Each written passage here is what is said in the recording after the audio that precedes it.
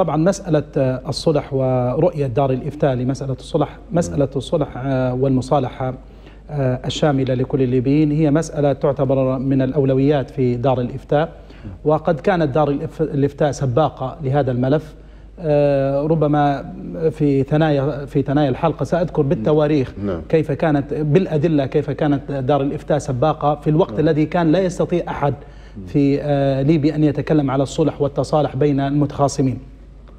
رؤية دار الإفتاء تقوم على ركائز مهمة. هذه الركائز مستنبطة من كتاب الله عز وجل ومن سنة رسول الله صلى الله عليه وسلم ومن فعل السلف الصالح ومن عمل السلف الصالح في مثل هذه المواقف.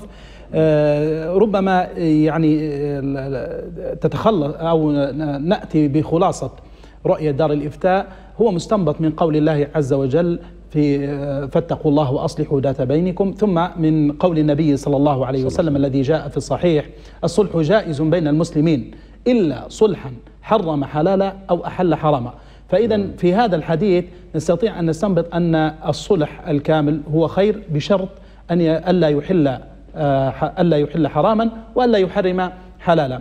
ثم عندما ندرس أو عندما نتلو قول الله عز وجل وإن طائفتان من المؤمنين اقتتلوا فأصلحوا بينهما فإن بغت إحداهما على الأخرى فقاتلوا التي تبغي حتى تفيء إلى أمر الله فإن فات فأصلحوا بينهما بالعدل وأقسطوا. آه الركيزة المهمة الثانية التي هي من رؤية دار الإفتاء أن يكون هذا الصلح بمقابل العدل. والعدل يقوم على على على ثلاثة ركائز. الركيزة الأولى أنه لا تزر وازرة وزر أخرى فلا يعاقب أهل قوم لذنب جاني واحد. ثم النقطة الثانية أو الركيزة الثانية فيها الركيزة الثانية فيها هي عدم التستر والدفاع عن الجاني من قبل أهله أو من قبل قبيلته. هذه ركيزة هي يقوم تقوم أو هي لرؤية دار الإفتاء فيها. والركيزة الثالثة هي القصاص أو العفو من أولياء الدم. هذه هي بخلاصة رؤية دار الإفتاء. وربما